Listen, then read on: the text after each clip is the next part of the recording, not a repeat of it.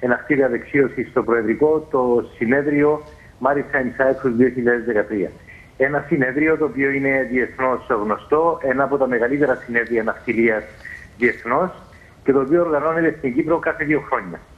Είναι ένα συνέδριο στο οποίο συνήθως, το οποίο συνήθως έχει μεγάλη επιτυχία, συγκεντρώνει πολλούς ειδικού για θέματα ναυτιλίας.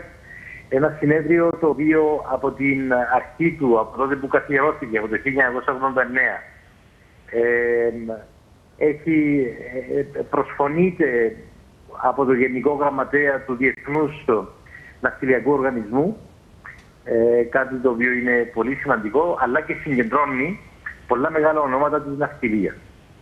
Και όπως είπετε, ναι, από την ερχόμενη Δευτέρα για ένα τριήμερο θα δούμε όλα τα θέματα της ναυτιλίας, το πώς αντιμετωπίζεται αυτή η οικονομική κρίση που πλήττει όχι μόνο την Κύπρο αλλά και πολλές άλλες χώρες, ε, θέματα τα οποία σχετίζονται με το περιβάλλον και πώς προστατεύουμε καλύτερα το περιβάλλον και τι διαφοροποιήσεις πρέπει να γίνουν ώστε στο μέλλον να έχουμε μια καλύτερη, αν θέλετε, μια πιο φιλική ναυτιλία mm -hmm.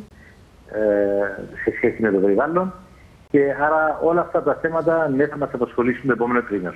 Μάλιστα. Κύριε Μιχαήλ,